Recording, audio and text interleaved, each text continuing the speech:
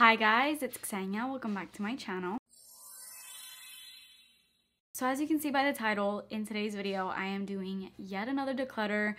I told you, I was not joking when I said if I'm bringing in new perfumes, I am taking out old ones because I do not want my perfume collection to exceed 200 perfumes. I haven't counted since the last time or since the last few times I did my declutter videos and then I brought new perfumes in. So I'm hoping I'm still at the 200 mark. And let me know if you guys want to see an updated perfume collection video because it's been a little while since I did my last one. I think it's been almost a year since I did my last one now. And I've gotten rid of a lot of those perfumes since that video and also brought in new perfumes, a lot of scents that I really, really love. And I feel like my perfume collection is now catered with scents that I really really really love because I've just gotten rid of those perfumes that I was kind of like a little unsure about and I feel like my collection now is full of the perfumes that I straight up just love so let me know if you're interested in seeing a updated perfume collection in the comments down below like this video if you want to see that video let me show you guys the perfumes that I am letting go of now. So this was really hard to do. This is getting really, really hard to do at this point because the first declutter was honestly not super hard because I had a lot of perfumes that I was testing out that I was unsure of. And then the second declutter was kind of the same. It was like a little bit harder. And now after four or five declutters, it's getting hard to do this because now I'm getting to the point where these perfumes are like my loves. So it's hard to let go of any, but I'm pretty confident with letting go of these perfumes. You guys know the drill. All of these fragrances are going to be listed on my Mercari as soon as this video is live, so you can check those out. I will put the link in my description box. It'll be the first link on there. With all that being said, before we get into this video, please make sure that you're subscribed to my channel and turn post notifications on, and let's get started. First fragrance that I'm letting go of is a perfume I really, really love, and I still love, but I recently got gifted the brand new bottle of it. They've updated the bottle and I'm not sure if they messed with the formulation, but I did smell it and I really, really love it. I really love this one. I feel like the formulation is not too, too different. So I am holding on to that and especially because that's newer, I'd rather keep that and let go of this so that somebody else can get use out of this. So that perfume is Gucci Guilty. I'm not going to hold this up for too long for you guys because it's a mirrored bottle, so I don't want to blind you. But Gucci Guilty is one of my favorite scents. I have said it and I'll always will. It is such a sexy fragrance. Like this is one of the sexiest perfumes of all time and I'm absolutely obsessed with it. My husband loves this. I actually recently wore the new one out for dinner and he was nonstop complimenting me all night. It is like a man-eater, man magnet type of scent. Super, super sexy, but not in like an overly sweet kind of way. There's a little bit of sweetness to Gucci Guilty, but it's more of I don't even want to say fresh because it's not really fresh. It's kind of powdery. That's kind of like the most distinct thing about it. And normally I am somebody that doesn't really like powdery scents. But something about this, I don't know if just the mixture of the notes, I'm not sure. This perfume has pink pepper, mandarin orange, bergamot, so pretty like citrusy and kind of spicy opening. And then the middle notes are lilac, peach, geranium, jasmine, black currant, base notes of patchouli, amber, white musk, and vanilla.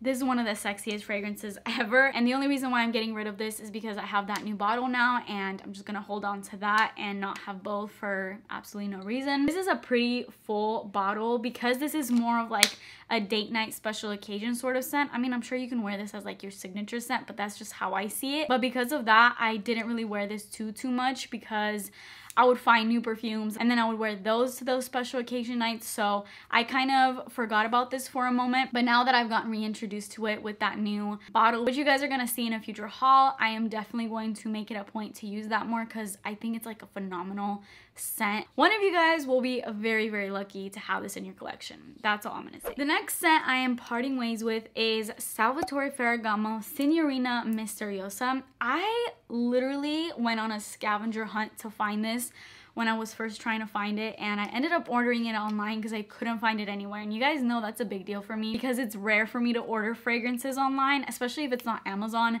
Amazon does speedy shipping so I always try to go the Amazon route if I'm gonna buy something but I bought this I think on Fragrance Net or Fragrance X one of those websites but ultimately this by the way is a full bottle. I don't think I've used this like once. Maybe I've used it once, but like that's it. This is completely full to the brim. It is a 3.4 bottle. So it's a big, big bottle of this and it's basically brand new. I feel like what turned me off to this kind of is because it kind of reminds me of the Pink Sugar Berry Blast one. This has a ton, a ton of berries in it. And while I am the biggest berry lover ever, this is almost too sweet even for me. It's kind of like cotton candy, but berry cotton candy. Like those berries are not necessarily done in like a fruity, juicy, fresh kind of way. Like not in a realistic way. They're done more so in like a really, really sugary, almost cotton candy way, which I know sounds so good. And I mean, this is a nice fragrance, don't get me wrong. It's just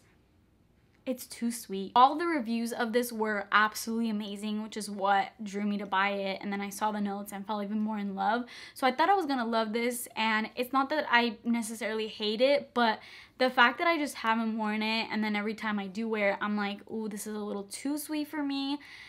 That leads me to believe I'm probably not going to be wearing this so you guys can give that the love that it deserves because it's a pretty fragrance. If you're into berries and you're into really, really sweet scents, cotton candy, sugary, like super, super, super sugary scents, I think you will love it. I do think that there's a sexiness to this. I honestly don't think it's as dark as it's kind of made out to be with like this dark bottle and it's called Signorina Misteriosa. I don't think it's that like dark and mysterious. It's just really sweet and berries and that's really all I can really say about then, it. Then after a lot of thought, this perfume and another one I'm going to show you later have been on the verge of my other declutter videos that I've done. I would include them with those perfumes and then last minute I'd be like, mm, no. But then I would hold on to them and still never use them. Like I wouldn't even think about them. So now finally i'm like okay you're gonna let go of those because even though you're on the fence and you think you like them you never actually use them. So they're never gonna get used. And one of those scents is jimmy choo fever. Do not get me wrong. I hesitated on this for a reason because i really really love this scent but I have so many perfumes in my collection with a similar scent profile to this that I just prefer so much more and that I wear, like actually wear.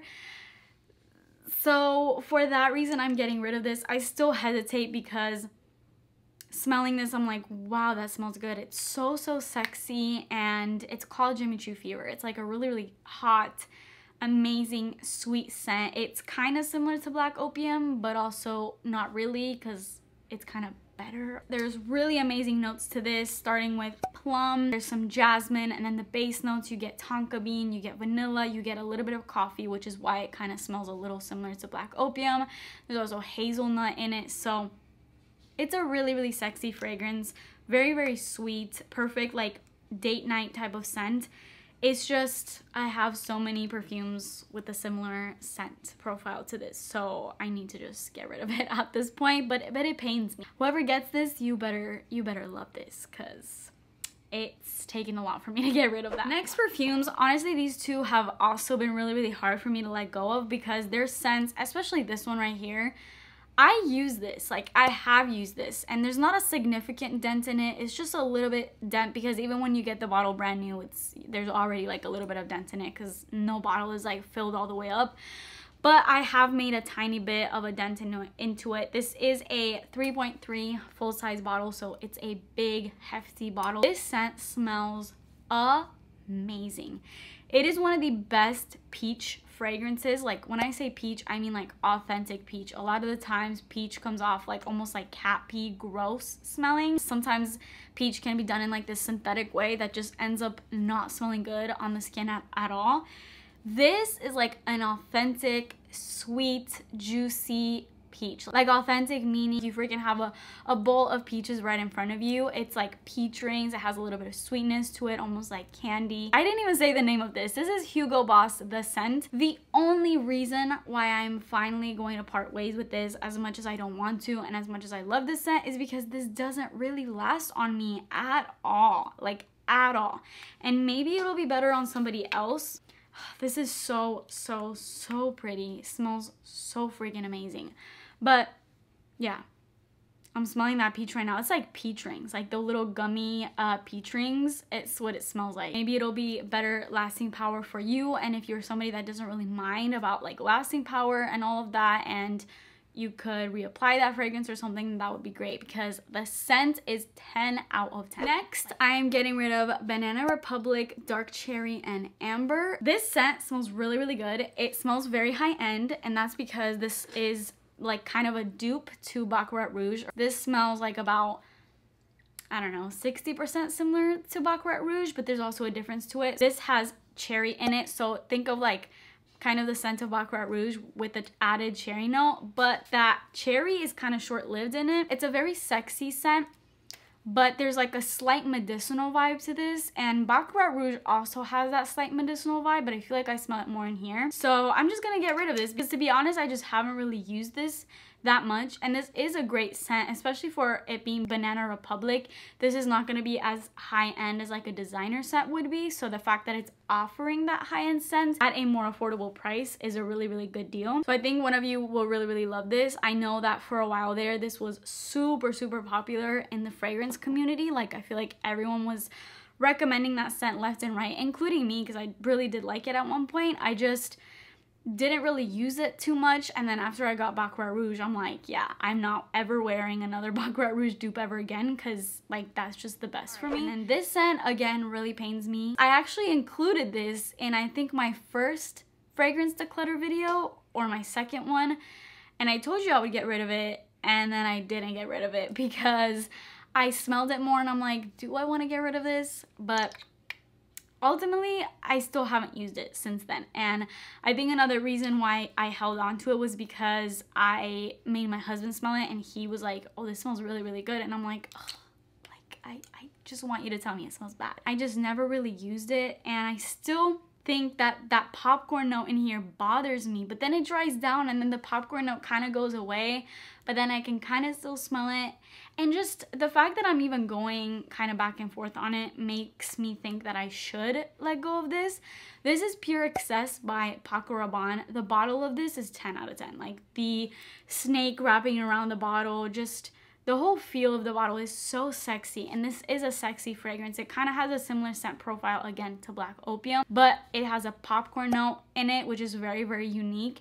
And it just adds this buttery nuttiness to it that I'm not a huge, huge fan of and I can really, really smell it especially when I first spray this out, that popcorniness does die down in the dry down and I do get a lot more like sexy sweetness but even after it's dried down, I still can kind of smell it. So yeah, I don't know. I'm back and forth on it and I don't want to be that way with my fragrances. I want to go into my collection and love every single scent that I pick up. So as hard as it is to get rid of that scent, I think I'm finally going to. Watch me like take it out last minute and it not be on my Mercari. You'll see for sure. If you go on my Mercari and it's there, you'll know I, you know, I was like, yeah, we're getting rid of it. The last three fragrances I'm getting rid of are all from Juliana's perfume. So I have a very extensive collection of Juliana's perfumes fragrances because I've worked with them in the past and I've tested out many of their scents.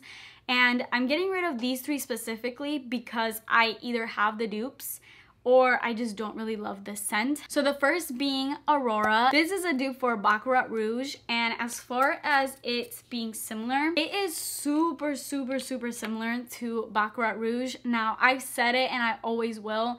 I don't think any dupe to Baccarat Rouge smells as good as the original. They come very close, but the original just just blows me away every time I smell it but this is a very very close dupe to it so I'm getting rid of it purely for the fact that I have Baccarat Rouge in my collection and I'm trying to just get rid of duplicates. Next I'm getting rid of Kissed by an Angel.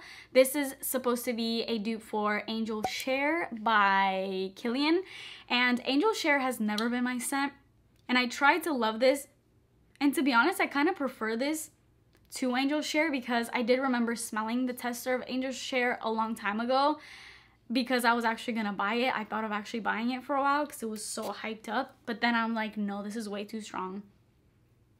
And I feel like I like this so much more, but still it's just a scent I don't really wear often. So I'm gonna get rid of that. And then the last one I'm getting rid of is Head Over Heels. And this is actually a dupe to Rolling in Love by Kilian. Now, the reason why I'm getting rid of this is because Rolling in Love is a dupe or not really a dupe because they're kind of a similar price point. But Rolling in Love is very, very similar to Scarlet Poppy by Jo Malone, which you guys know my obsession with it and I love that fragrance. It smells so freaking good. I did a whole like dedicated video to that just saying how I found my freaking dream perfume. I love that scent so, so much. And this smells very, very similar to it. So again, for the sake of downsizing with duplicates, I am also letting go of that. All right, so that is yet another declutter done. It feels so good to do these purges, especially when I'm bringing in new scents and I kind of feel guilty about it. It feels good to know that I'm still letting go of fragrances. I'm still not letting my fragrances get too out of hand. So I just love doing this kind of I guess cycling, like bringing in, letting go. I also love the fact that these fragrances are going to be used by you guys, you know, nothing is going to waste. Let me know if you're interested in any of these fragrances. Check out my Mercari if you are. That'll be the first link in the description box. That is it for today's video. Please subscribe to my channel if you haven't already, and I'll see you guys in my next video. Bye!